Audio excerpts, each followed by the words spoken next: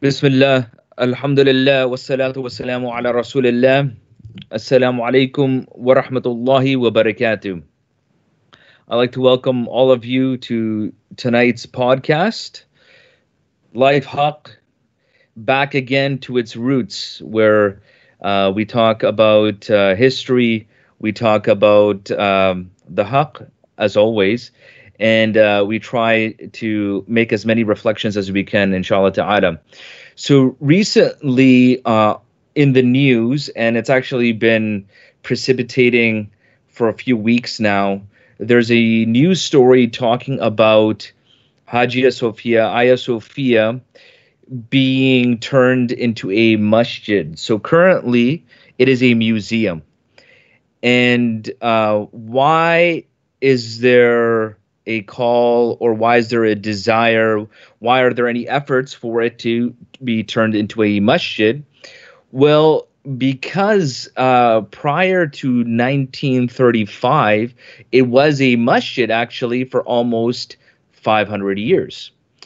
And uh, until obviously the uh, Ottoman Empire, you know, declined and the Khilafah came to an end, uh, the uh, there was a lot of changes that occurred because of that decline, because of that end, and one of those changes was uh, there was a lot of restrictions in terms of how Islam was practiced, and also in terms of the places of worship. So, for example, major masjid uh, construction projects uh, were were essentially banned, and they were restricted and we saw a lot of different changes. Uh, the adhan was turned from Arabic to Turkish, uh, and uh, a lot of the traditional schools of learning, ways of learning, were restricted, essentially banned. And uh, one of these policies that took place was that Hagia Sophia was turned into a museum from a masjid. So now, how did it become a masjid in the first place? So we can't really talk about Hagia Sophia without talking about a very prolific character from history. So this figure uh, is the reason that uh, Hagia Sophia became a masjid. And who am I talking about? I'm talking about none other than Sultan Muhammad Thani, Sultan Muhammad II, also known as uh, Muhammad al Fatih. So he was the seventh uh, sultan in Dawlat al Uthmaniyya, the Ottoman Empire. And uh, depending on the history books that you read, he came to power at the age of 22 or 23, and he ruled for approximately 30 years. Now, we have to talk about, if we talk about a person, let's talk about from the beginning what kind of upbringing did he have? And i think that's important to understand the backstory. You know every time you uh, look at a uh, at a superhero they always draw attention to the origin story. Where did this figure come from? So uh, before they became a legend they were a baby. They were in diapers. You know before someone becomes a legend and accomplishes any type of legendary status everyone comes from some type of humble beginning.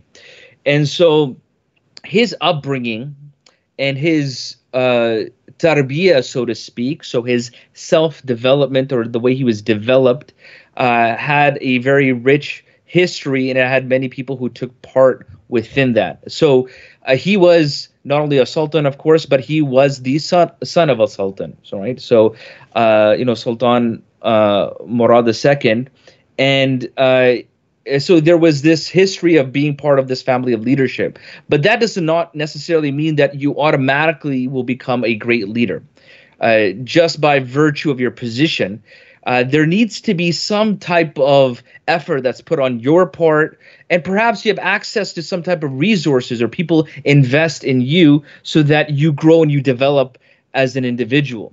So, one of the people that was tasked to actually help develop him was a scholar by the name of Mullah Qurani. Now, Mullah Qurani, he was this very well built uh, individual, this very well built man. So he was a big person.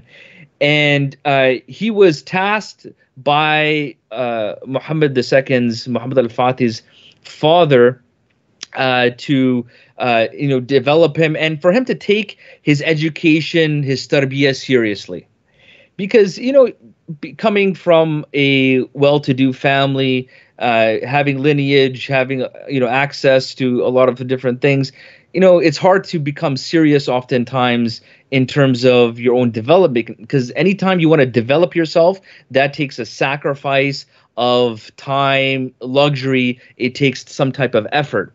So uh, his father told Mullah Qurani, if you have to, uh, you know, uh, knock him a few times, you know, beat him with with the cane, you can do it. You have my permission to do that. Even though he's uh, the sultan, uh, they're they're rich, they have this high status. No, no. If you have to beat my boy to make sure he's serious, you can do that. And so when Mullah uh, Qurani goes to uh, Muhammad al-Fatih, Muhammad al-Fatih, he's not taking Mullah uh, Qurani very seriously because he thinks like he's just like any of his other tutors or teachers. He can get away with whatever he wants, so he can joke around, he can laugh. So he was laughing at him. But then when Mullah Qurani took out the cane, he understood. Okay, this guy is serious. Okay, I have to make sure that I um, get my act together, and he did. He did. He memorized the Quran in a few years. Uh, he learned uh, the uh, ulum ad-din. He learned the sciences of the deen. He learned history. He learned math. He learned astronomy. He learned physics. Uh, and he learned several languages. So, uh, what the scholars uh, of the past would say, the languages of Islam. So, what are the languages of, Islam? Uh, he learned Arabic. Uh, he learned Persian. Uh, he learned the Turkish language. Okay, and if you mix these all together, actually, if you take these all together, uh, which would often uh, you'd see this in the Ottoman Empire, like in the um, uh, in the in the in the campgrounds where the military would uh, would would camp out. Uh, you would have people who would speak. Arabic, Persian, Turkish, and so the mix of all these languages actually became known as Urdu.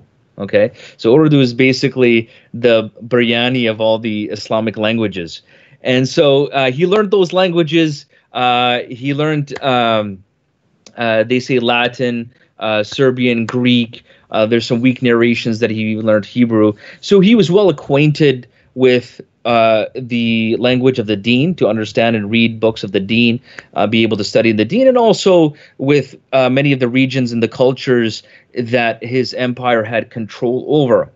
And he learned military strategy. Uh, he learned the art of, uh, art of fighting. He actually was in contact and he learned with uh, and well from the Sheikh of Imam Suyuti. Okay. Uh, one of the great scholars he also learned from was Sheikh Ak Shamsuddin. And this Sheikh actually had a, a strong and very particular influence on him. And he served as a motivator for Muhammad al Fatih. He told him that you are going to be the one that conquers Constantinople. Okay, so uh, he he uh, you could say really spent a lot of time as being a Renaissance man, so to speak. Uh, he knew languages. Uh, he knew the arts even. He uh, was a poet, and he had a pen name uh, by the name of Auni, and he has a book of poetry called Diwan uh, Auni. Okay, so uh, he was he he was a poet. Uh, he was a military strategist. Uh, he had knowledge of the deen of Islam. So uh, he, here's a person who knew uh, a lot of these things, and he knew history, and he knew the history of uh, the Ummah. He knew the history of his own uh, of Dawlat al-Uthmani of the Ottoman Empire. And at a young age, he was given a lot of responsibility because actually, at around the age of 14, uh, his father abdicated the throne for a short period of time. But then, when European forces came to know that they have a young uh, sultan that's at the head of this empire, they tried to take advantage of the situation, and so his father came back. Uh, again for a brief period of time. And the reason that drove his father to do this is that his father's uh, son, uh, his son by the name of Ala, passed away.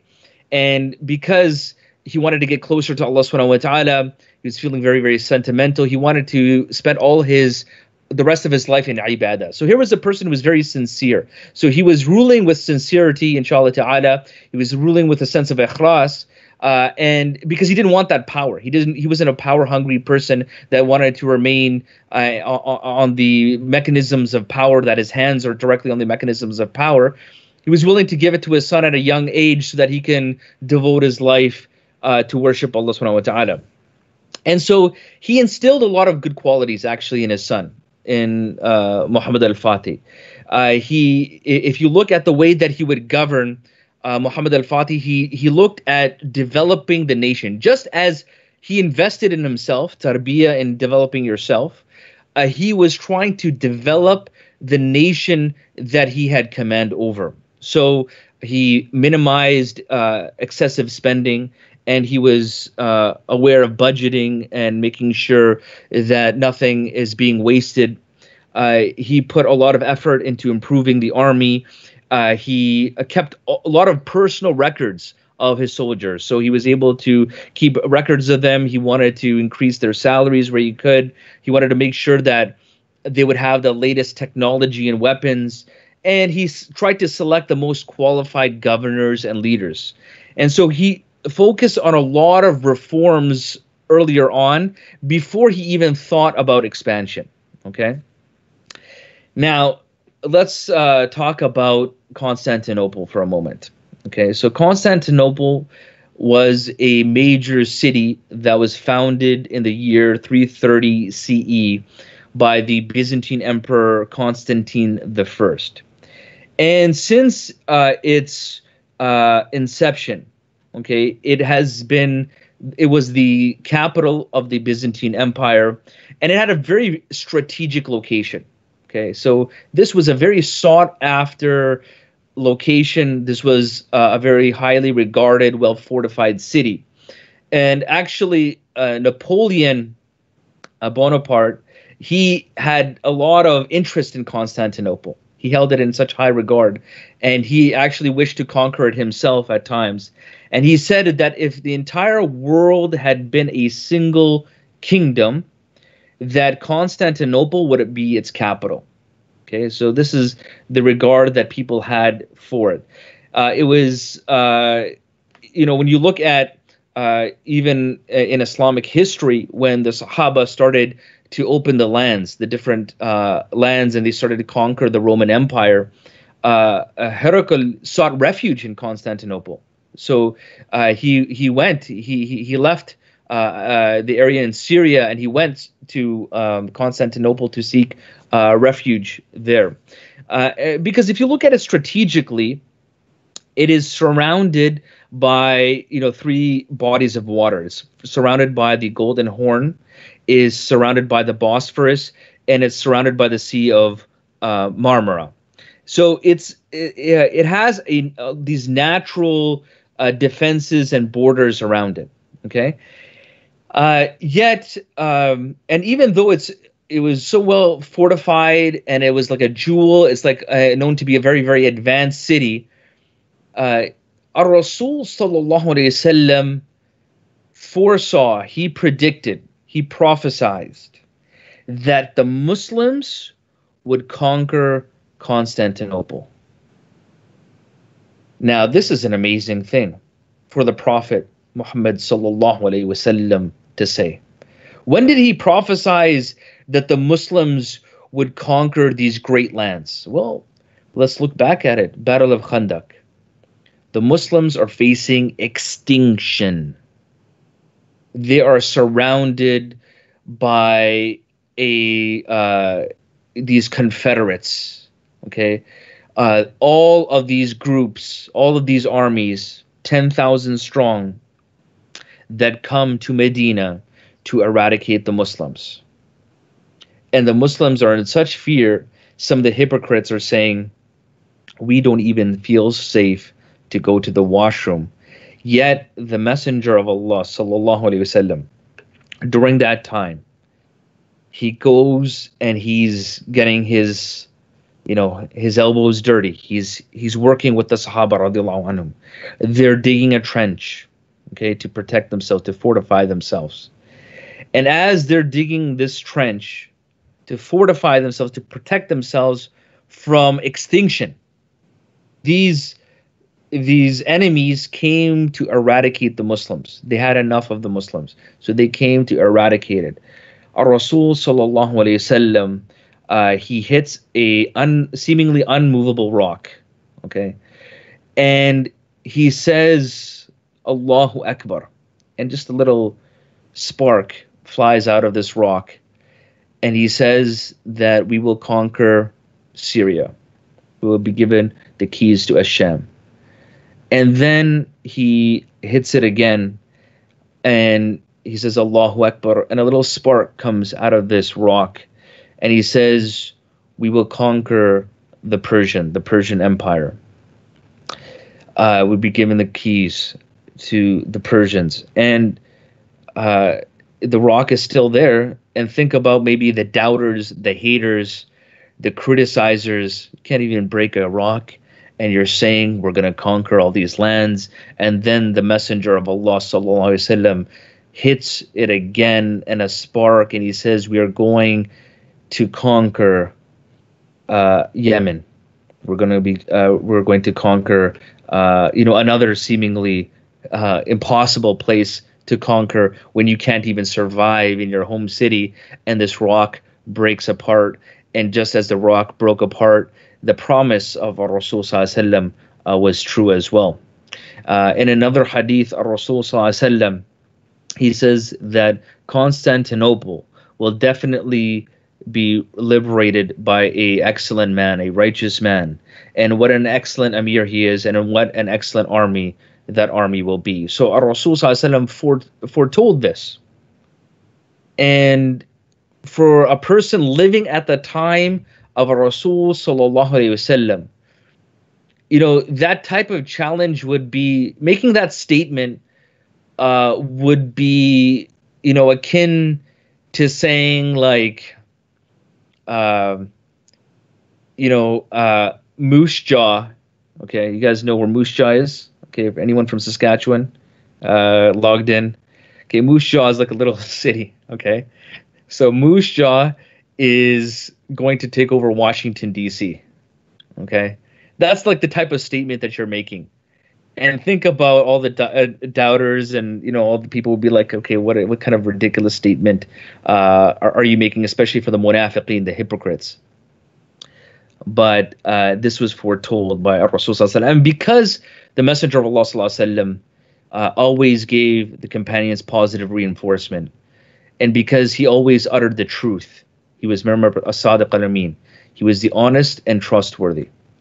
That is why till to this day people take the word, the actions, the silent approval of the Messenger of Allah sallallahu alaihi wasallam as an example to live their life 1.5 billion people, generation after generation, even after the Khilafah ended, because they believe in the truth. So even though Islam has very weak political power, the truth is recognized and practiced by people. That goes to the veracity of the blessings of the words of Prophet Muhammad sallallahu alaihi wasallam. And so, uh, the early generations, they wanted to be this excellent person they wanted to be this excellent man and be part of this excellent army. And so, uh, uh, Muawiyah bin Abi Sufyan, 30, the year 33 after Hijrah, he sent an army to conquer Constantinople, and uh, he was not able to. Uh, Basr ibn Abi Arata, 53 after Hijrah, he was another uh, Sahabi who tried to go in there uh, in an army. Uh, he wasn't able to do this uh, Abu Ayyub al Ansari went and he was part of an army that uh, they were trying for years, and 30,000 Muslims died trying to take over uh, Constantinople. And he ended up dying in this land so far away from Medina. Think about this. Trying to fulfill, and by the way, of age 80 years old okay 80 years old and you can actually there's a there's a beautiful masjid in uh, istanbul uh, called uh, uh, uh the that's named after uh, abu ayyub al-ansari So Sultan Ayub uh, Masjid, beautiful masjid, and his grave is there as well. And so he wanted to at least be buried as close as possible to the gates because he wanted so badly to be part of this. The uh, Sultan Sulaiman ibn Abdul Malik, 98 years after Hijrah, he tried, he failed. The Abbasid Sultan Harun al-Rashid, 190, the year 190 after Hijrah, he tried, he failed. Uh, Sel, the Seljuk rulers, 11th and 12th century, they tried, they failed. And so the Ummah stopped trying for 735 years. Okay. And then uh, from the Dawlat al Uthmaniyah, the, the Ottoman Empire, Sultan Bayezid, he resumed the effort. So after 735 years, Bayezid, and Sultan Bayezid himself is a prolific figure. He's an amazing figure. Okay. Actually, you know what his nickname is? Sultan Bayezid, his nickname is uh, his or uh, in Turkish Yildirim. It's it means lightning bolt. Okay. Because he was fighting, he was going between fighting uh, the Mongols and the Crusaders. Like he went go, he would he would be fighting on two fronts, and so he moved so fast, fighting between these two fronts. And one of the efforts that he tried to do was uh, to uh, liberate Constantinople. So uh, so others they, they they had tried, okay, but uh, one thing that Muhammad al-Fatih benefited from was all these attempts that did try to conquer Constantinople because he studied them and he was able to learn from them. So 11 times, I want you to think about this before. Think about this. 11 times the Muslims, they tried to conquer Constantinople. And yet here Muhammad al-Fatih is trying again. Yet uh, it's not about just trying all the time, but it's also learning from the past because our Rasul sallallahu alaihi wasallam he says in a hadith that a mu'min is not stung by the same hole twice. So it's not just about just trying, but it's also about learning, adjusting, reflecting, making toba, uh, making whatever modifications needed, and then again putting your forth your effort with ihsan. And so here was a man who loved Islam he was a person who knew his deen. He had tarbiyah. Uh, you had this Mullah uh, Qurani, you had uh, Sheikh Shamsuddin. He was surrounded by shuyukh. And so it was like Allah subhanahu wa ta'ala prepared the conditions around him for this monumental task. Now, how did he prepare?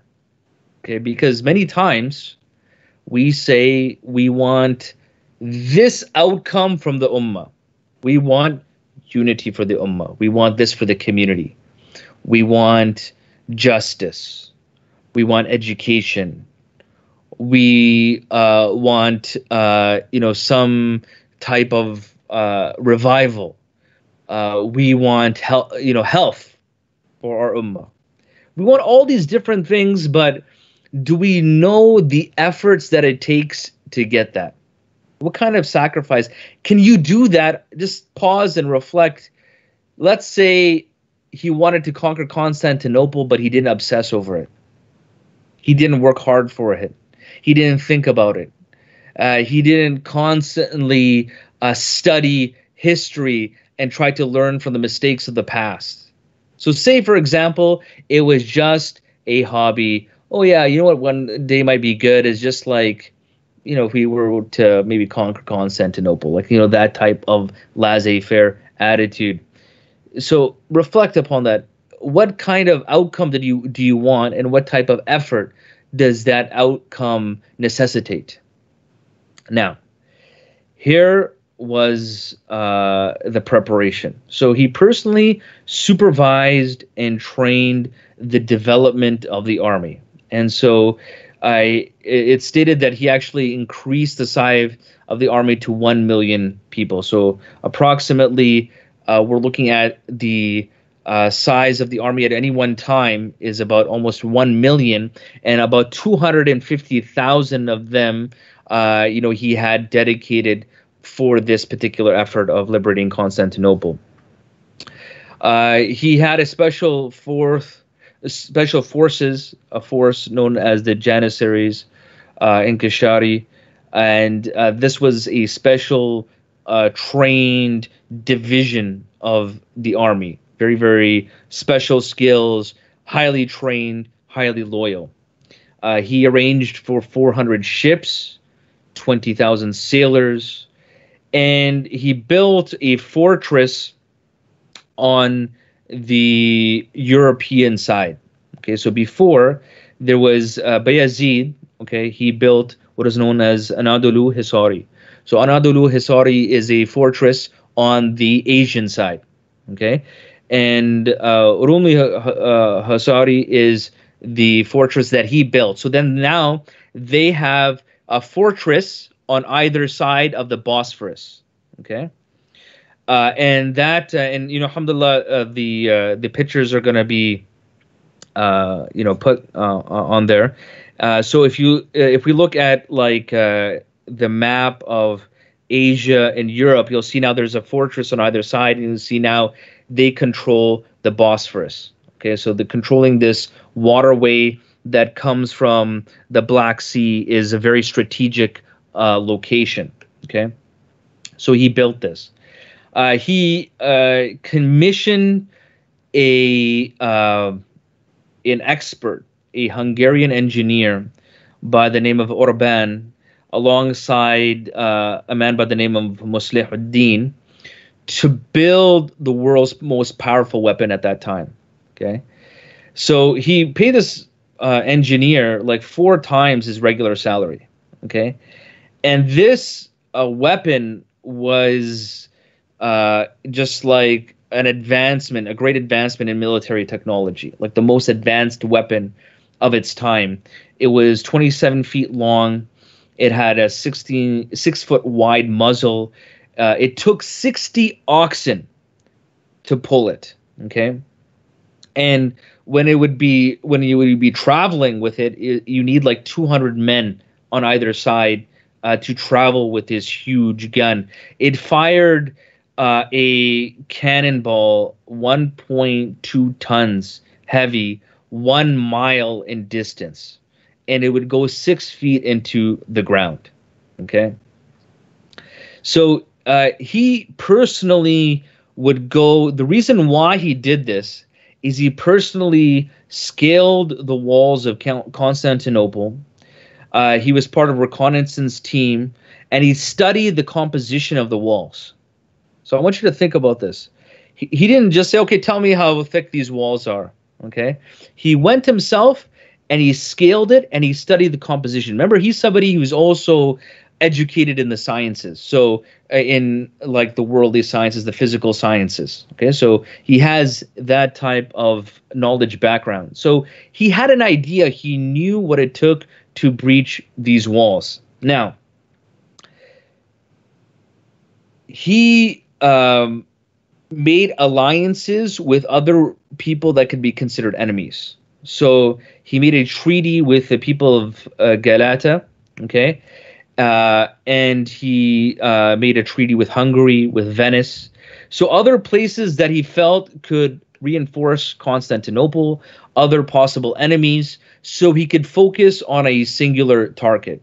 Okay, so he's now considering. See, look at the different levels that he's doing. He's not just thinking.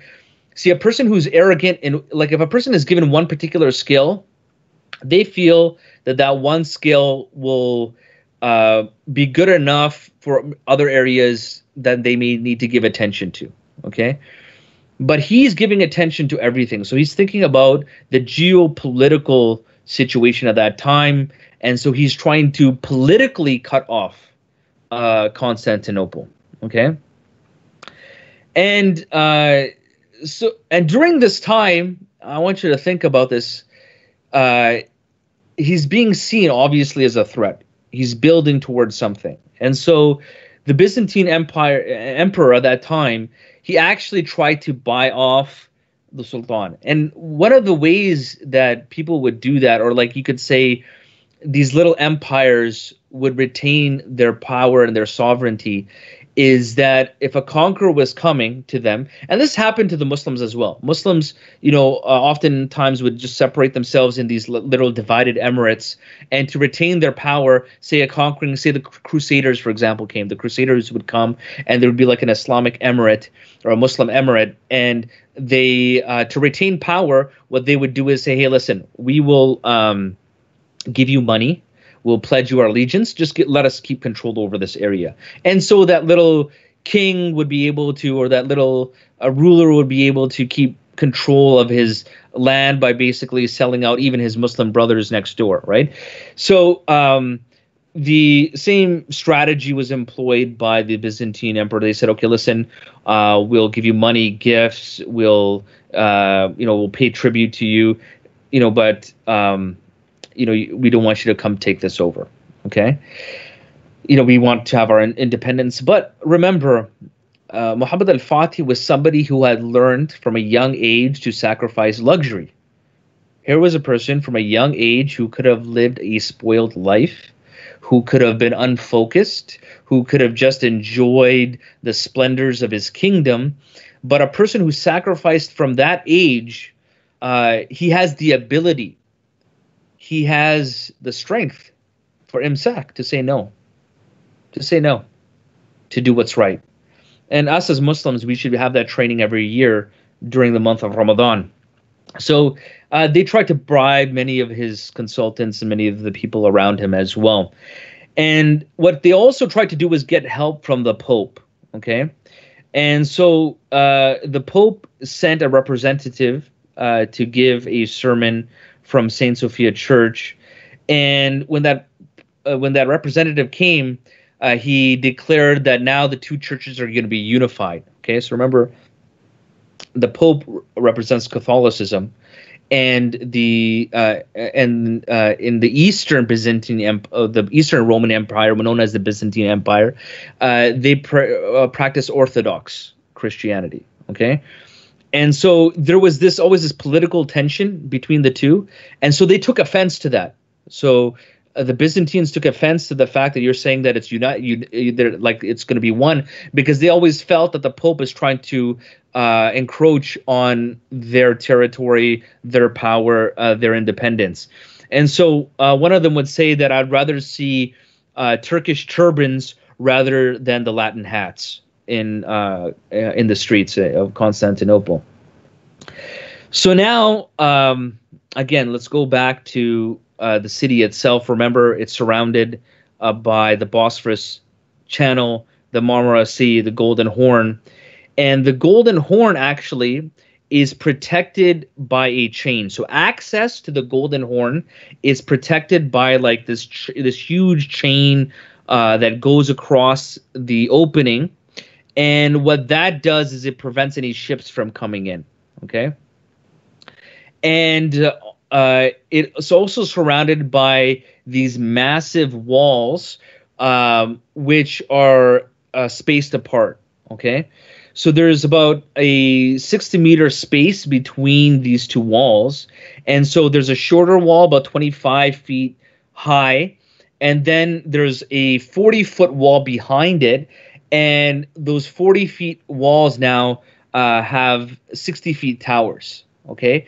So if you're able to even breach that first wall okay which is heavily fortified then now they have like this strategic advantage okay? They have the higher ground uh, to be able to launch arrows at you to be able to throw uh, you know uh, cannons at, or you know uh, cannonballs at you. They're able to uh, throw hot oil. So uh, and they're able to um, you know reinforce and fix uh, that outer wall in the meantime. So it's very, very difficult, even the way that they spaced out these walls, right? So, so then you have the smaller one and then the higher one. You're able to see once that wall, the lower wall is breached, they're able to defend it uh, much um, more readily, right? And they have a chance to repair, they have a chance to react. So it's very difficult for for any army, even if they reach the walls. Like, say, if you're able to get over many of these natural borders, get to this man-made structure, the way it was set up was very difficult to breach. Okay, so um, Muhammad al Fatih uh, he gave an order that uh, the the road from Edirne to be uh, repaired. So uh, we got to remember that the uh, capital of the Turkish Empire of the Ottoman Dawlat al it moved. So it's from Bursa to Edirne to uh, eventually Istanbul, and so he wanted this road to be repaired so that they could. Um, bring these cannons and a lot of this artillery and so forth. So this journey lasted for about two months to be able to bring all of this uh, artillery to the outskirts of Constantinople. Uh, and that occurred around the, the time of uh, the 26th of Rabiul Awwal, the eight, year 875 after Hijri, which corresponds to April 6th, 1453 CE. Now, there was uh, about 250,000 soldiers that were was with this army. Okay, and uh, this army was trained specifically with two things, or it was infused with Quran and Sunnah, and so. Uh, wet on the tongues of this army was takbir, tahleel, and dua. So, you know, Allahu Akbar, la ilaha illallah, and making dua to Allah subhanahu wa ta'ala and they had many scholars within this army that went with them and made dua and le- led them in acts of worship and taught them and so forth. Okay. So uh, he created three main sections of this army to surround the capital from all sides, from you know Constantinople from all sides, and um, one side though they could not penetrate, and that was of course the uh, the channel of the Golden Horn because of the chain, as I mentioned before. Now, these cannons that they used were able to make these massive holes in the walls, these structural, these massive structural holes, but they were able to repair it very quickly. Okay. And so they started this attack uh, in the date that I previously mentioned. And as they're doing it, uh, Constantinople receives reinforcements from Genoa, uh, Italy. Okay, and uh, they're somehow led by this commander known as Justinian, are able to sneak past uh, the ships of um, Muhammad al-Fatih, and uh, they quickly uh, raise the chain. They're able to uh, get past the chain, and then they put the chain back. Okay. And so uh, Justinian, he brought reinforcements from many different European uh, countries. And so this was a little bit of an embarrassment for the army, for them to to allow, you know, all these ships of reinforcements to come, sneak past them, get past this. Uh, you know, obviously they raise the chain and then put the chain back. Okay, and they're like stuck. They're not even able to get past this chain. Okay, and so it's a little bit of an embarrassment uh, for that. So uh, again, he tries negotiations. Uh, Muhammad al Fatih actually he tries negotiation because he sees that this is going to be a long battle, and so he tries to see if there can be some type of diplomatic outcome. And so um, he says uh, that you know if you hand over the city to me, I swear that my army will spare everyone's life and property Whoever wants to stay in the city will remain in peace and security, and whoever wants to leave may do also in peace and security. And they, uh, of course, they rejected it, and so uh, he had his uh, Inkishari soldiers, these very brave soldiers, on April 18th, breached these walls with. Once it was breached by uh, cannons, uh, they were able to uh, get through this like hole in the walls, like his special soldiers. But then they started receiving like heavy losses. This start, you know, they they were kind of caught in this tight in a bottleneck, and they started getting heavy losses, and so they retreated. Okay. So now again, um, they uh, they're having to reevaluate. Okay. Uh, another battle occurred where uh, he sent many different ships to approach the Golden Horn, and uh, Muhammad al Fatih from the coast is viewing this fight and he's giving instructions and orders. And uh, they ended up losing uh, many of their ships. Okay. And he felt very angry and very disappointed. And he actually summoned one of the commanders. Okay. So Baltar Ughri. Uh, and he and he accused them. He's you know almost of being a coward. He said, uh, um, you know, you know, what are you doing? Uh, you've like you're you're not trying hard enough. Where you uh, accuse him of cowardice, and so he responded by saying, "I'm facing death with a firm heart, but it hurts me to die while I'm being accused of such an accusation." He says, "I and my soldiers have fought to our best standard," and then he lifted his turban and he and it was showed that his eye was like badly injured. Okay, and so uh, Muhammad al Fatih he accepted uh, his story, but he assigned Hamza Pasha to be in charge of the fleet at this point. Okay, so he's making decisions not based on emotion. He sees, okay, this guy is he's trying his best, but uh, he um, uh, he's still he's making a decision because maybe he sees something in his leadership that needs to be adjusted. And so now um, many people start to lose hope. Okay, and uh, Khalil Pasha, he's one of his ministers, uh, was trying to dissuade Muhammad al Fatih from continuing the fight. Okay. And uh, he even wrote to other rulers trying to get them to dissuade Muhammad al Fatih to continue this fight. And so I want you to think about this. You know, for any of you who are involved in dawah, are any of you um, who who are involved in the community work and so forth, sometimes when you have a failure or you make a mistake, many people will just jump on and start pointing fingers and try to criticize you. And those words can be devastating. Those words can be really demotivating. And before any external person can restrict you or stop you or harm you, uh, it seems that our greatest sabotage is always the naysayers within our own community, like, you know, those cynics within our own community. And getting a positive words of encouragement getting those positive words of encouragement getting that dua getting the the sunnah smile uh, from your own people can mean the world to you. And at that critical moment uh, his sheikh Ak Shamsuddin he reminded him of the hadith of Rasul that this land is going to be conquered by this righteous good man this excellent person and it'll be an excellent army so he reminded of them and he encouraged him with that. So, with this encouragement now, with these words, again, a mu'min never gets stung by the same hole twice. A believer thinks, a believer keeps putting effort, a believer understands that uh, before you are externally defeated, you're actually internally defeated. You give up yourself. And so he starts thinking about something that any normal person in that situation would never think about.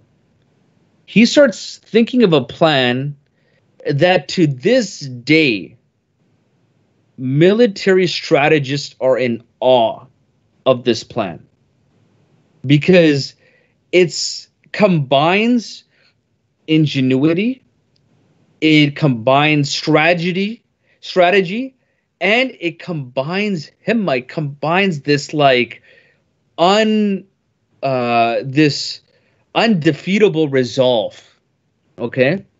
So what happens? Okay so there is uh from Besiktas this area uh that is basically like this tip we, will probably bring up the map and it's this uh this one coast or this one uh, uh side of uh, the Golden uh, Horn, okay, and it's this near this area of Galata, okay. So what he does, so this is about three miles long, okay. It's hilly, unpaved road. So what he does is he orders very quickly all the trees like a path to be cleared Okay. He orders all these trees to be cut. He gets these barrels and barrels of oil. and he gets these huge logs put on uh, with, on, on this oil so that you can slide these logs and he drags 70 ships overnight okay? To go so you're going these ships are in in one night are in the strait in the bosphorus and in one night they end up in the golden horn okay? 70 ships. So i want you to imagine uh, that you're living on this coast in Constantinople. And within like overnight, 70 ships appear in your port. Okay. And not only do you see these 70 ships, but you hear takbir, you hear Allahu Akbar, Allahu Akbar. Okay.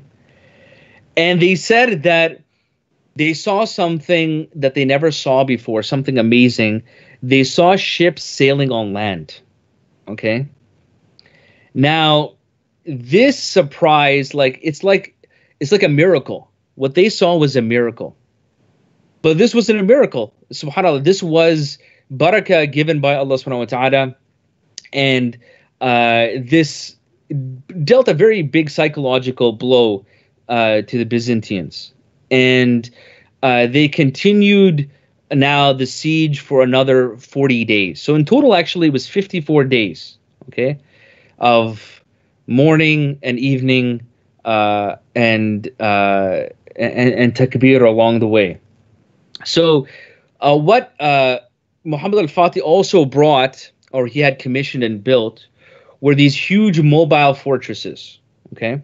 and these huge like um, uh, mobile fortresses were had three decks, and they were meant to come up right up against uh, the walls of uh, the outskirts of the city, and uh, they were supposed to uh, you know be able to climb these walls, be able to attack. Uh, shoot arrows and hopefully use this as a way of protecting the troops so that they could breach these walls. So they had armor plating. They made them fire resistant and uh, soldiers would be near the bottom levels, and then you had archers near the top levels. Okay, now uh, the Byzantines they fired these flaming missiles at these mobile fortresses, and almost all of these mobile f- fortresses got burned to the ground.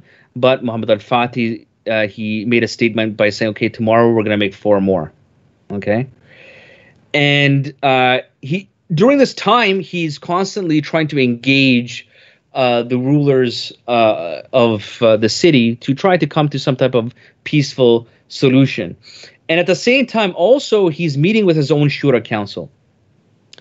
And so some of them, like Khalil Pasha, as I mentioned before, are advising him to withdraw. Okay, you know, it's, you know, you're going to enrage all of Europe. He's trying to scare him. You know, you're going to get entire Europe after you. They're going to unite to come after you. Okay and then uh, he has others around him like Zaghnush Pasha, Khan, Sheikh Shamsuddin Al Mawla uh, Qurani, who say that it is necessary for him to continue uh, to fight with the same firm uh, spirit that he did initially. Okay, and he says that if you keep steadfast, that victory will be yours. So, um, Muhammad al Fatih during this time he's engaged with his army so he's he, goes and he meets with his men. He commands them to make tazkiyah make purification of yourself increase in your salah increase in your ibadah increase in your dua. And he's personally even uh, going to the the ones firing the cannons and he's telling them like you know what? Aim your target over there. You know aim over there. Okay? So he's intimately involved in almost every aspect of the battle. You see him commanding the ships, going to the coastline, commanding the ships, going to the cannons, looking at the situation uh, with uh, breaching the walls with the mobile fortresses, going amongst uh, the men, uh, taking uh, counsel, taking shura from his leaders, from scholars, from different people. And he's, you know, at, at night worshiping He's, uh, you know, encouraging everyone to make takbir and tahleel and so forth. So he reaches this state, like this is now uh, the 27th of May, 1453, Jamad al Awwal. Uh, you know, this is 857 after Hijrah. And so that night, actually, that night, he has them make these big fires. And why did he have them make these big fires? He says it's time for you to increase in your takbir, your tahleel, and we're going to celebrate because victory is imminent. Victory is almost upon us. Okay? So when the Byzantines saw this, these fires, they were very happy because they thought that the enemy army's camps were on fire. Okay? Until they realized they were celebrating. Okay? So that gangster move really put them off. Okay, that really like gave them a psychological blow that made them very afraid. Okay, you know these guys are already celebrating. What's going to happen now? Okay, and uh, you'd have ulama walking amongst scholars walking amongst uh, the army, uh, reciting uh, ayat of Quran, ayat of Surah Al-Anfal, reminding them of the stories of those before in the past that sacrificed themselves, like Abu Ayyub al Ansari. And so uh, Muhammad al Fatih gives one last speech for battle. He says, If we manage to conquer Constantinople, one of the ahadith and miracles of Rasul sallallahu wasallam will be fulfilled by us. Everything revered in this hadith would be for us. So inform our soldiers one by one that the victory which we should gain would grant Islam such strength and honor. Every one of our soldiers should be aware of Islam's teachings during this battle. Tell them to avoid attacking the churches and places of worship, spare the priests, the weak, and those who are unable to fight. So you know, similar if you if you think about this, Subhanallah, like this is like uh, we see like every great generation re- repeats similar themes because if we see, for example, the advice that Abu Bakr as-Siddiq anhu would give to his army, very similar advice, subhanallah. Like it's very, very similar. If you look at how uh, Salah ad-Din Ayyubi would advise his army, very similar, you know. Uh, so it, we see a lot of themes repeated uh, generation uh, with uh, you know those specific generations um, that brought Nusra to this ummah. So um, now 1 a.m.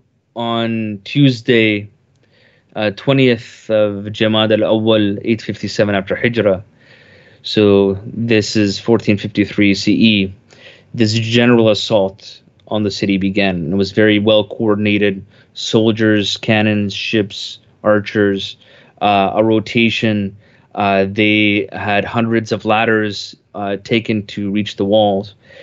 And uh, after uh, two hours of this general intensive attack, then they told the soldiers to rest. They brought in the 3rd Brigade and a group of Inkishari soldiers uh, led by Fatih himself, Muhammad al Fatih himself, moved towards the wall with uh, the archers. the three of the bravest Inkishari or these brave Inkishari soldiers, they were able to breach it and they paved the way uh, for the rest to come in and they raised the Ottoman flag behind this wall.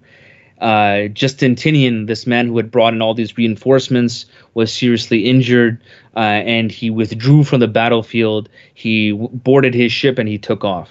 Okay and uh, the uh, army of Muhammad al-Fatih was able to penetrate the Edirne entrance.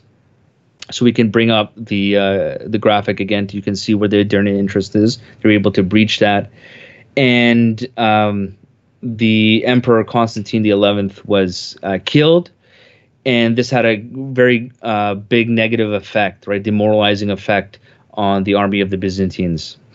And so as they entered in on uh, and they were able to take over the city uh, as I mentioned on the 20th of Jamad al-Awwal 857 after Hijrah, May 29th, 1453. The Sultan, he reached the city, Muhammad al-Fatih, he was surrounded by his soldiers and his commanders, and he kept saying, MashaAllah. And he said, You have become the liberators of Constantinople, about who our Rasul wasallam informed us. And he congratulated them for victory. He prohibited any more killing, and he commanded everyone to show mercy and kindness. And what do people do, my dear brothers and sisters, when they attain a great victory? What do they do? Do you see? Do you see like a fighter? What happens when he uh, when he achieves a great victory? He knocks out his opponent. What do they do? They jump to the to the top of the ring, on top of the fence. They they jump, uh, you know, to the ropes. They stand up on the ropes and they pound their chest and they just they they raise their hands in victory, right? Muhammad al-Fatih, he followed the sunnah of Muhammad sallallahu alaihi wasallam. Not just in name, but in actions.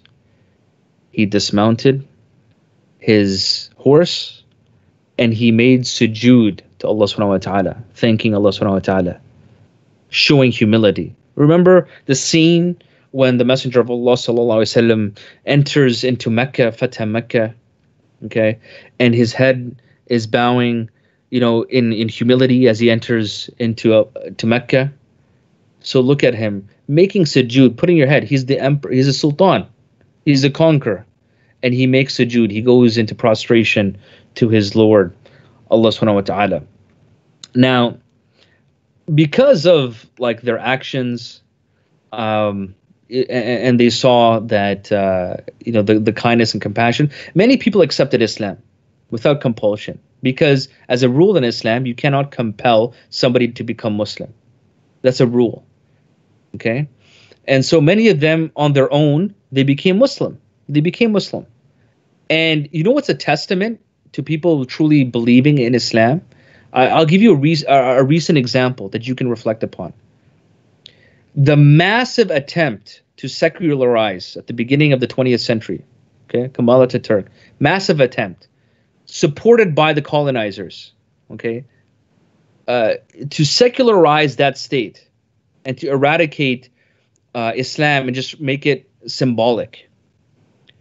After almost like decades, decades and decades of doing that, almost a century later, you're having people like 99% over 99% of them are muslim and islam is still there and the masajid are growing and now they're building new masajid and they're coming back to their deen uh, even though they try to ban uh, the the quran and the adhan. Now again in that city if you go into that city you can hear the adhan five times a day.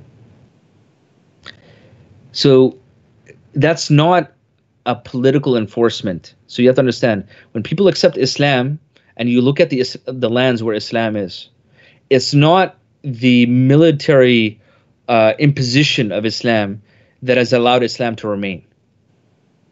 It is Islam in the hearts of people. It cannot be taken from the hearts of people. As long as you don't conquer the hearts of people, the hearts and minds of people, Islam will always be there. Now, when they took over uh, Constantinople, they uh, converted Hagia Sophia into a masjid. And about half of the churches they converted into uh, masjid. Now, according to uh, Islamic uh, rulings, Islamic fiqh, uh, if they had handed it over peacefully, they would not be able to do that. But because it was through military conquest, they were able to do that, but they only did half uh, of the uh, churches. They converted it to masajid, Hagia Sophia being one of them. And three days after the conquest, the first Jum'ah led by Sheikh Aqil Shamsuddin was performed in Hagia Sophia. And Hagia Sophia was a masjid for almost 500 years until it was converted into a museum. And so uh, many Orientalists they tried to paint Muhammad al-Fatih in a very brutal way. Okay, they try to paint him, uh, you know, as this like bloodthirsty conqueror. But as I mentioned, if he came with like if the inception of Islam was based on injustice in that area, then you would not see Islam there today being practiced so passionately. You would not see that today. And even after those attempts of secularization, even after those attempts of trying to completely uh, lobotomize Islam, you wouldn't see now that possibly Hagia Sophia would come back to being a masjid. You know, uh, as uh, is the case today. And the city itself, uh, the name changed from Constantinople to Islambul. So Islambul, which was later, uh, you know, distorted, or was, you know, it evolved into be called uh, known as Istanbul. But Islambul means the city of Islam. The city of Islam. And subhanallah, I want you to think about this. Let's take a moment, man. Let's let's soak this in. Okay. After 54 days of siege, okay, 54 days of, of, of a siege, of all this effort, these doubts, losses, being embarrassed, suffering, you know, uh, a great uh, defeat, all of these naysayers, cynics, 54 days, they remain consistent. But not that was more than 54 days. It was more than 54 days.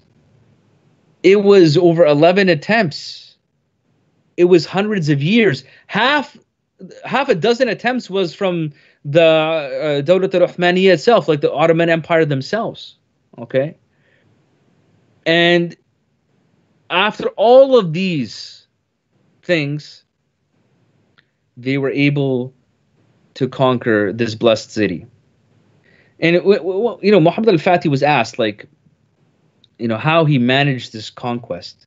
You know what his response was? He said, "I have two traits: a heart as hard as a rock that does not rest until I achieve what I want." So what he's trying to say is that he has firm istiqamah, he has firm resolve. And he says, "An eye that cries out of fear of Allah subhanahu wa ta'ala. So how could I not achieve victory? Subhanallah, this is this is this is the uh, you know this is the traits that he that he that he says. He doesn't say I'm so intelligent. I'm such a brilliant tactician. You know, I had the most advanced technology. You know why this is important to reflect upon? These are internal characteristic traits. Yet, why do we blame most of our shortcomings on external factors? Why do we blame uh, like lack of success on money and resources, on uh, political power, on all these external things, media, what the media says about us, uh, all these external things, people will always say that this is the reason why Muslims are in this type of situation. Oh, we don't we're not educated enough, we're not this enough, we're not that enough. But he says his keys to victory was essentially his istiqamah, his resolve, okay, his thabat, and his taqwa of Allah subhanahu wa ta'ala. You know, his, his sincerity to the deen of Allah subhanahu wa ta'ala. Like, you know, being being true to that. Now, let's let's kind of take a, another step back here and look at uh, the type of people that surrounded him. So let, let's also let's let's try to extrapolate the circumstances and the lessons because I think those are very important. Let's look at see what was this recipe that manifested itself to build this beautiful cake. So you look at Sheikh Aksham Akshamsuddin. We mentioned him a few times. So his lineage, actually, he's a descendant of Abu Bakr as-Siddiq radiallahu anhu. He was somebody who memorized the Quran at the age of seven. Uh, he was actually uh, born uh, he, in the Byzantine lands, and he was known as like the spiritual liberator of Constantinople. He taught uh, Muhammad al-Fatih uh, fiqh, Sharia. He taught him Quran. He taught him Hadith. Uh, he taught him Arabic, Persian, uh, the uh, Turkic language, and uh, also uh, he taught him some of the physical sciences, math, astronomy, history, military strategy.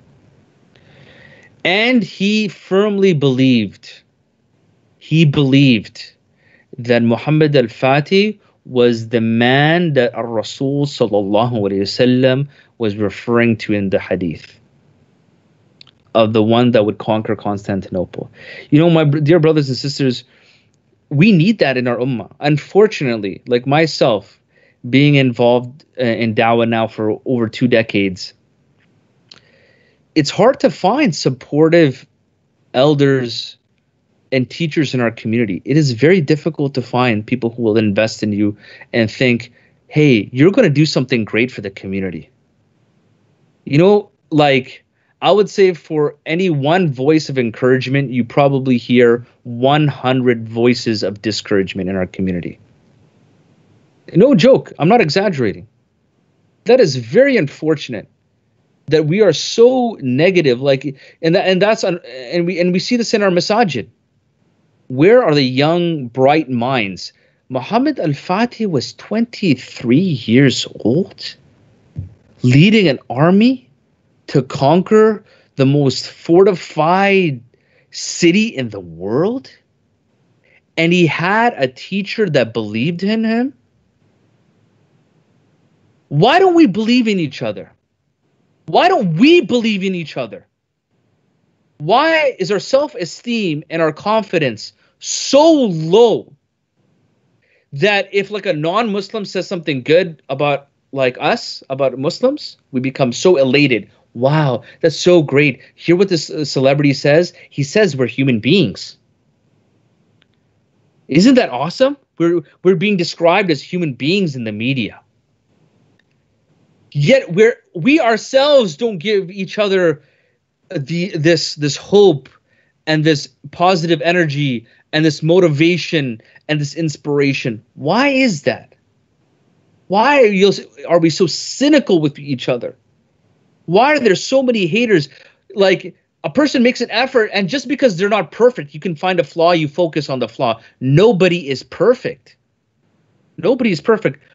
And, and we'll, we'll talk about Muhammad al Fatih. Muhammad al Fatih was a perfect person.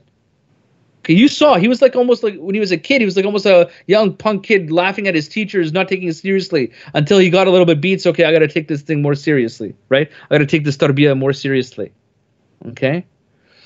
So, um, you know, uh, having this type of advisor, this type of voice in your life, subhanAllah, why don't we have that? That's powerful it helped empower him. And anytime he felt doubt, he would come to Sheikh Shamsuddin uh, and he would say, It is the predestination that Allah will grant us victory.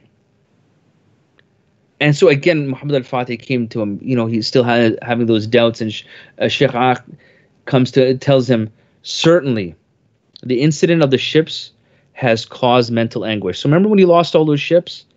He says, in, in our ranks, yet cause joy amongst uh, the disbelievers. But remember that the established fact is that uh, the men's work is subject to predestination, the decree of Allah subhanahu wa ta'ala, in all the judgment. And we return to Allah. We have turned to Allah and we, we, we recite the Quran. And it is only this moment of negligence will be followed by Allah's mercy with good news that was previously never witnessed before.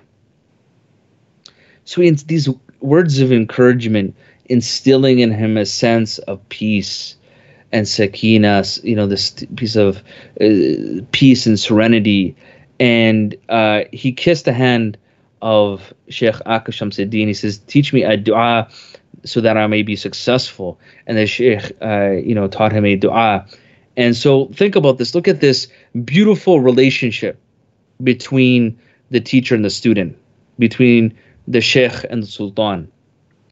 And uh, sometime during the battle, he tried to visit uh, the sheikh actually, and the sheikh was in his tent. and he was stopped by the guards.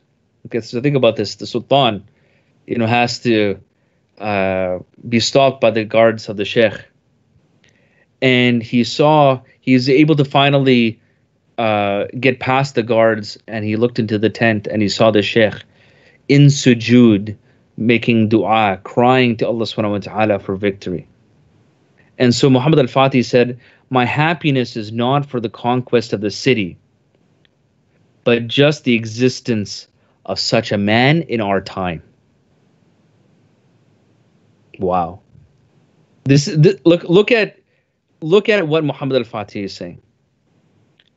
And look and think about sometimes how superficial we are. Maybe we get elated to see a beautiful masjid. You know, there's some in our ummah. There's some very, very beautiful masjid. How happy do you get to see that masjid? But how much happier are you when you see a true worshipper of Allah subhanahu wa ta'ala crying out of fear of Allah subhanahu wa ta'ala in maybe a simple masjid, in a simple tent? Look at look at Muhammad al-Fatih. He said that this the conquest of the city is not what's going to make me happy. It's the fact that I'm living in a time with a man like this. And so after the victory of uh, this uh, city of the conquest of Constantinople, which became Istanbul, uh, he sought permission to spend some time with uh, the sheikh, and the sheikh uh, he refused. He wants to spend some time with the sheikh. Sheikh says, no, I don't, I don't, you can't spend the time with me. And so Muhammad al-Fatih got upset. He's like, why? Like, why can't I spend time with you? And so Sheikh Ak, he said, because when you would taste the sweetness of ibadah, you would lose uh, like interest in rulership and neglect the state. Because remember, he knows about his father. He knows that they're sincere. His father abdicated the throne because he wanted to just worship Allah subhanahu wa ta'ala. He says, you need to worship Allah through the ruling the state by being the leader. And even though he would want to maybe take some time, relax, do some ibadah, he, he's telling him, no, no, you need to make that sacrifice. Because he's sincere. He doesn't want he doesn't get satisfied from power right? So some people are wired that they get the satisfaction from power. And it's very similar story with uh, Salah ad-Din Ayyubi. Salah ad-Din Ayyubi was told uh, from Qadi al-Fadl that uh, you know you need to focus, you need to stay in your position. If you leave, he wanted to go, for example, for Hajj. He says if you leave right now, they're gonna go, they're gonna come back and they're, they're gonna take over. All the lands you've gained, they're gonna come take it over. You cannot leave for a second. You cannot leave, uh, you know, taking care of your flock just for a second. You have to get close to Allah subhanahu wa ta'ala through your service to this ummah. And so uh, he said you need to get closer to Allah subhanahu wa ta'ala by being a just ruler. And so they visited the grave of Abu Ayyub al Ansari, and so they could reflect upon those people who had sacrificed before them. And uh, and he sheikh he he had kissed the the sheikh was lying down and he kissed the sheikh's hand. And um and the sheikh didn't get get up to see him leave right? So again he's not a perfect person. He felt like slighted you know that uh, I, you know i'm the sultan and he doesn't even get up to see me. He doesn't want to spend any time with me. And so he complained to sheikh waliuddin. He told him um you know like what is this? Like why am i being disrespected in this type of way. And so Sheikh Waliuddin, he told them that he is your teacher. And he wants you to protect he wants to protect you from arrogance. Because the conquering of Constantinople is such a great achievement that it can be you can easily become arrogant. You can easily become prideful with that. And so uh, you know, at one point, you know, he uh, summoned Sheikh Ak and uh, many of the uh, princes they they kissed the, the, the hand of the sheikh, and so when uh, the sultan came, it was dark. This area was dark at that time. Uh, sheikh Shamsidi he he like grabbed him, he he like hugged him, and he recognized him because you know he he helped raise Muhammad al Fatih, and so he hugged him so hard that he almost fell down. Like Muhammad al Fatih almost fell down. And all the anger with this hug, all the anger just dissipated from Muhammad al Fatih.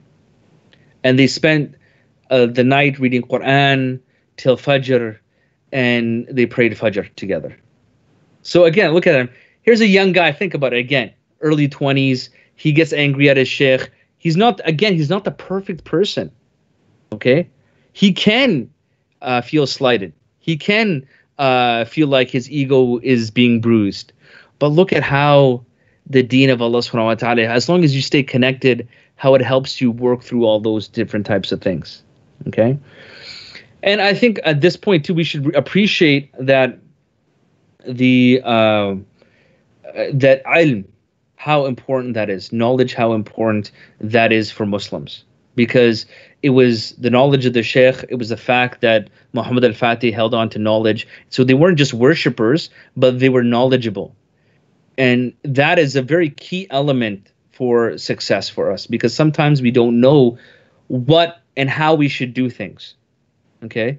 Doesn't matter if it's uh, like personal issues that you're going through, family issues, communal issues. There is guidance in Al Madin to get through all of that. Think about this. These are personal issues. From there to military issues, it's the connection to the deen, but through knowledge, right? So, for example, there's a hadith in At-Tirmidhi ibn Majah ibn Abbas that uh, Rasulullah says a single knowledgeable believer is harder on shaitan than 1,000 devout worshippers. 1,000. Because, you know, uh, shaitan sometimes can mislead a person who's a devout worshiper because he maybe doesn't have the knowledge of how to avoid the tricks of shaitan or the knowledge how to deal with like real world challenges, like real world situations. Whereas somebody who has knowledge, right, whether it's direct knowledge of the deen uh, alongside complemented with like you know knowledge of the dunya this is like a a, a, very uh, powerful recipe to be able to outsmart shaitan or a, be able to uh, keep shaitan at bay now uh, this liberation had a uh, had a big effect on both the European world, the Islamic world. The Islamic Empire continued to um, expand. Uh, this rocked this very this shook the European world because think about it. For centuries this was like their outpost uh, in the east. And now you know they don't have it anymore. So even 200 years after the death of Muhammad al-Fatih uh, one of the uh, French historian by the name of uh, Guillet he wrote a book uh, about um, and, and within it he wrote about Muhammad al-Fatih. So he has a book he gave to Louis Fourteenth, this is the uh, King of France, and he started his book by um, pray, uh, you know, praising God or telling God to save the king, and then he also prayed to God to not bring someone like the a sultan like Muhammad al-Fatih again, okay, because uh, of the they were still scared of him 200 years uh, after his death. Okay. Now, there's a few things uh, that we should again appreciate. Okay. Uh, that uh, before we conclude uh, today, and and that is when we look at this conquest and we look at the buildings and the fruits of what we benefit from there was some really deep uh, work. There was some very deep characters that went involved in, in this. Okay, so we talked about Muhammad al Fatih, right? We talked about uh, you know the type of person he was, the type of uh, character he had. You know, he used to sit um, and listen to the complaints of the people. So he'd actually sit there and listen to people what their complaints are. You know, he was the type of person uh, who supported uh, you know students.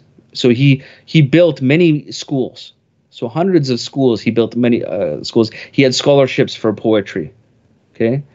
Uh, if he knew anybody who had knowledge or Muslim scholars, he would treat them with respect. He would hire them. He would pay them salaries. Uh, he ordered uh, doctors in hospitals to check on their patients regularly. He, um, you know, he told them to bring good food uh, to the patients. Uh, he uh, he developed a lot of administrative laws to help manage the state affairs. Uh, he, you know, if you look at it, he had seven. He was had 17 states in Asia and Europe that was under his control. Okay he had great love for the deen. Like one time he heard that somebody had um, insulted a judge uh, who was representing Islam. So he he became very very angry, and then he found that the judge was actually acting inappropriately, and he got angry at the judge, and he was almost uh, you know going to give him a corporal punishment. But then you know the other scholars dissuaded him from doing that. Uh, he wanted to look at the state of the people, and he would check in on the condition of the people because you have to remember something. This is this is an important point that you could have the best leader in the world. You could have like a phenomenal leader. So you can have like uh, somebody who's an amazing, like the best leader that you could ever hope for. It's like, man, this person has it all. But if you don't have the jama'ah to support that person, you know what's going to happen? That person will just be by themselves. They won't be able to affect any change. Even the messenger of Allah sallallahu alaihi wasallam had the Sahaba radiallahu anhum. Allah blessed the messenger with the best generation. And there were good people. There was decent, righteous people, people who had taqwa that uh, surrounded and supported the community that Muhammad al-Fatih lived in. So, for example, uh, he went undercover once in the community, okay, and he went into the marketplace, and he went uh, to buy from a shop uh, some cheese, milk, and honey. And so the shop's owner said, "Listen, I'll uh, sell you the cheese, but I've made my sales for the milk and honey today. Go go buy for my brother next door. He still needs to make his sales. So he goes uh, to uh, you know to, to the one next door, and he says, "You know what? I'll sell you the milk, but I've made my sales for the day. Why don't you go to the next business and buy your honey from him?" And so he goes to the next business. Think about this. He says, like you know, people like this, with people with such akhlaq and such unity, such ikhuwa, you know, we won't just conquer Constantinople, we'll conquer the world. You know, like think about why people revere um, a lot of Western countries because they feel that they can get justice. Right? Because people can put up with a lot. Like people can put up with, uh, to a degree, poverty, and they can put they can put up with a lot of different things. But it's injustice uh, never allows serenity to take place within a society. Okay? That society will not be truly successful without justice. Okay? And so um, he saw this. We have people like this. We have people who care, who have a true sense of community amongst each other. Okay? Now, I want to talk about, before I conclude, just a little bit about tamkeen, about victory about Allah subhanahu wa ta'ala giving power, like power to people. Now, the hadith of Rasul sallam are powerful. And I think we underestimate the power of the hadith of Rasul sallallahu wasallam, the, the teachings of the Blessed Messenger sallallahu alaihi wasallam. I think we greatly underestimate it maybe because I uh, maybe perhaps we didn't have to sacrifice so much for Islam. Maybe the hadith are so widely and readily available. You don't have to go sacrifice and travel so far to study it and learn it like the scholars did in the past. You just Google, get a whole bunch of different collection of hadith. But the hadith are so powerful when they are implemented. Sitting on a shelf, they don't really do you much good they don't affect change uh, if it's just relegated to trivial knowledge. But if it's actually implemented, okay, so it's made operational, that hadith is made operational, you see a big difference. So, for example, you have uh, somebody like Abdullah bin Umar, uh, he would go to the marketplace and he would say assalamu alaikum to people his students would be following him. And then he would come back and his students would say why do you keep going to the marketplace? You don't see like you're not buying anything there. You're not selling or buying anything there. He says i went go there simply to practice the hadith of rasul salam to spread the salam. That's why i go to the marketplace. Subhanallah. He goes to the marketplace to make what? Tijara in uh, goods and services no no no with hadith of Rasul sallallahu alayhi wasallam, with practice of the hadith of Rasul sallallahu alayhi wasallam. So the power, the hadith are power, like what our Rasul says is powerful. Think about it. The Battle of Uhud, the disobedience of one instruction of our Rasul led to a huge this devastation. Many of the Sahaba being martyred, almost our Rasul sallallahu being killed you know this uh, this this this devastation that occurred to the Muslim army. Think about the implementation, the following of one hadith of Muhammad al-Fatih of Rasul caused world history to be changed.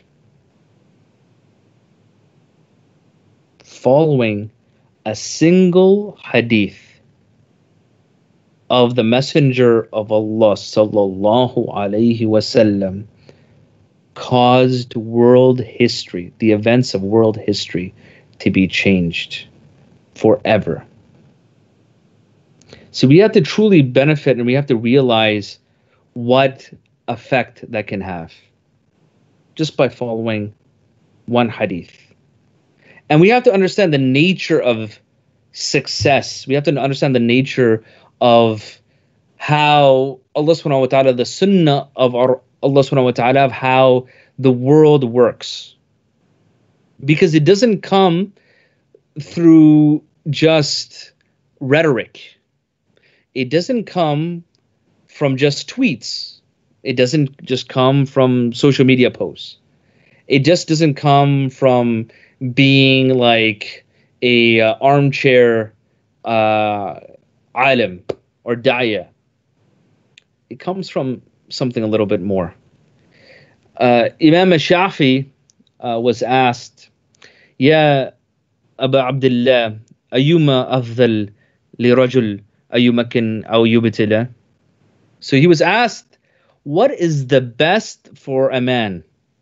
To be given authority in the land and power in ruling, or to be stricken with calamities? Imam Shafi, he responded by saying, La yumakkinu hatta yubidillah. He says, a man would not be given tamkeen authority, okay, power, until he is stricken with calamities and trials and is tested.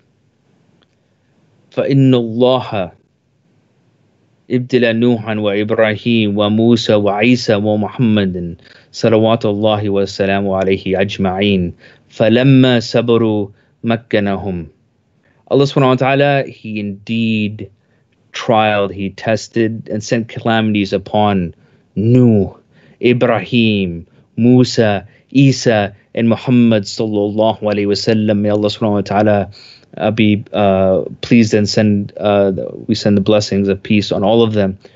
When they were uh, taken through calamities, Allah subhanahu wa ta'ala gave them calamities and they were patient through calamities. Then Allah subhanahu wa ta'ala gave them tamkeen. He said that's a prerequisite. Trials and tribulations are a prerequisite. This thing that we've been running away from for so long I don't want to be stressed out. I don't want to take responsibility. Let me just generally volunteer. Let me just come in here and do like a few tweets. I'll like a few things. I'll like donate a few dollars very electronically, very, very quickly. I, I just want to have like ease, comfort. I, I don't want to uh, do anything that requires so much effort. Imam Shafi is saying is that if the greatest creation, the greatest ones to ever live, had to go through trials and tribulations to be given authority in the land, who are we? Who are we? Because you can pick. You can pick. You either you take the trials and tribulations, okay? Or you pick humiliation. Pick pick one or one or two things. Pick humiliation or pick trials and tribulations. Trials and tribulations lead to tamkeen. Humiliation leads, you know, neglect leads to humiliation, leads to oppression. Pick which path. Choose choose your own adventure. Which which which page do you want to turn to? You know, it's like if uh and that's when you truly test you see the hearts of people. Like it's like for example, you had a basketball team and it was a basketball team that every time another team faced it, they would just forfeit. So that basketball team would be like number one now. Every single time an opposing team did, they just forfeit. How do you know if this is a really legit, really good basketball team? You know, how do you know that they're like champions? How do you know who's the quitter, who's the all star, who's the average player? How do you know any of that? Until they're tested, until they go through, you know, the what happens with their victories, what happens with their losses. You know, we we all want you know, we, we, we, we don't look at the whole situation sometimes and we don't appreciate our own history to its full extent. Think about this. Uh, like, again, let's go back to uh, uh, like uh, and let's talk about Badr for just a moment. Battle of Badr, okay? Great victory, right? Great victory. Battle of Badr, greatest, one of the greatest victories in Islam. But after that great victory, that's when many you had a high number of Muslim people accepted Islam, like a high number of Muslim converts, and many of them were munafiqeen. This is the first time after the Battle of Badr you had munafiqeen, hypocrites in the ranks of the Muslims after a great, beautiful victory. After Uhud, one of the greatest losses and calamities, you had a separation.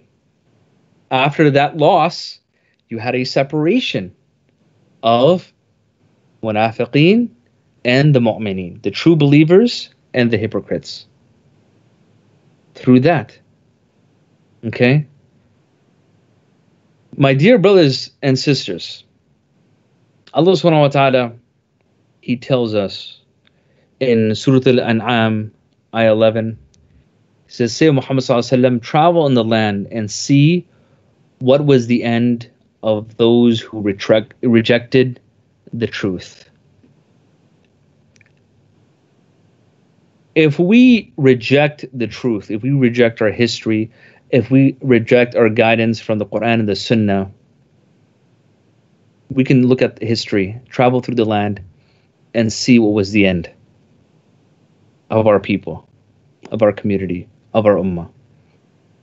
Conversely, look at the successes. Look at, go and visit Hagia Sophia. Go visit the uh, Sultan Muhammad al Fatih Masjid. Go visit Abu Ayyub Masjid. Go see the worshippers to this day, hundreds of years later, after all the all these attempts to dissuade them. Look at the seeds that were planted by people on the truth how it continues to bear fruits. We can reflect upon it ourselves. So I hope we have an appreciation of how Hagia Sophia became a masjid. And as I mentioned, for many decades, it was converted into a museum. But perhaps we're in the final stages of it being a masjid again and we are pleased with the decree of Allah subhanahu wa ta'ala. And we ask Allah subhanahu wa ta'ala to be on the haqq like the people of the past were on the haqq And we ask Allah subhanahu wa ta'ala to keep us united upon the haqq. So, my dear brothers and sisters, we will see you all on Saturday at our next podcast episode. Remember, we want to live by the haqq, die by the haqq, and just when you think life is stuck, tune in to Life Haqq. Assalamu alaikum wa rahmatullahi wa barakatuh.